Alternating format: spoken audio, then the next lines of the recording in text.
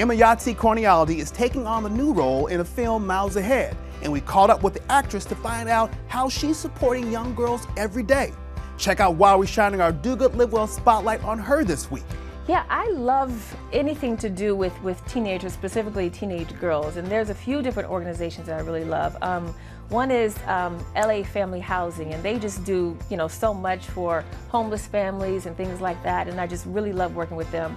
Um, there's also School on Wheels. It's a great organization that deal with homeless kids, you know, who need help tutoring and things like that.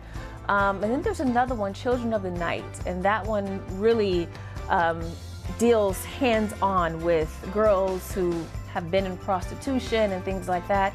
And they have so many programs there where they help to help these girls to transition into a normal life, to be normal teenage girls again. And so those those are three of my favorites. You can make a difference in your community too. Find your perfect volunteering opportunity at dogoodlivewell.org.